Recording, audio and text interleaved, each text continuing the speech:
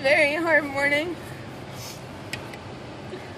I'm an emotional wreck. I'm tired. I don't want to do this. Why am I hard on myself? I'll tell you why I'm hard on myself. It's because I have a freaking dream. You know, I don't get up every day and do this just for just for the fun of it. You know, I do this because I have goals in mind. I know I can do this and you know, I'm I'm hard on myself because because people tell me I can't do something. That's why. And I'm hard on myself because I know the human body can be can look any way you want it to if you make it that way. You go in there and you lift them weights every single day for 15 years. You're going to look like you want to look. And damn, I'm going to do it. I, am going to eat healthy. I'm going to do this. I'm going to get this over with. It's not easy to do this every single day.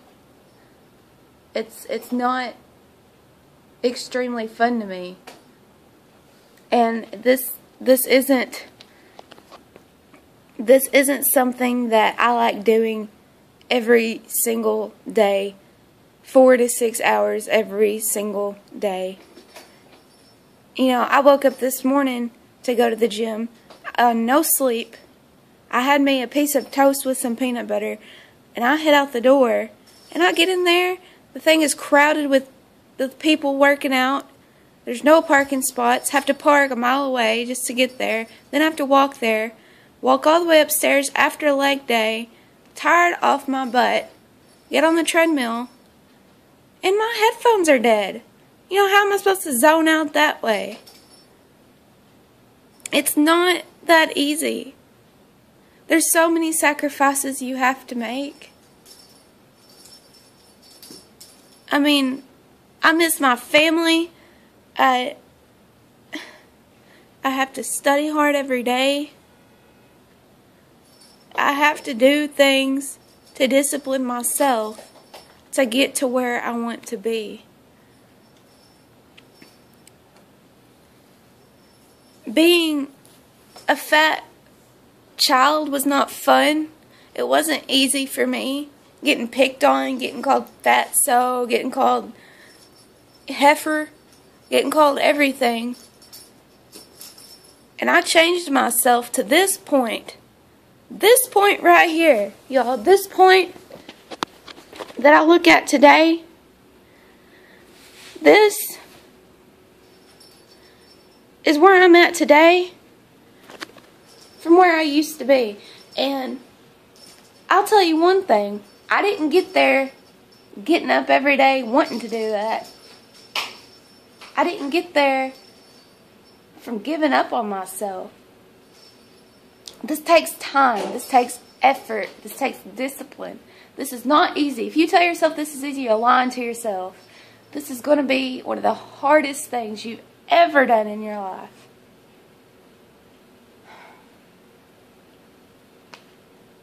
I'm hard on myself because I love myself. I'm hard on myself because I care about myself. I'm hard on myself because I have faith in myself that I can do this and I have this I'm crazy enough to think I can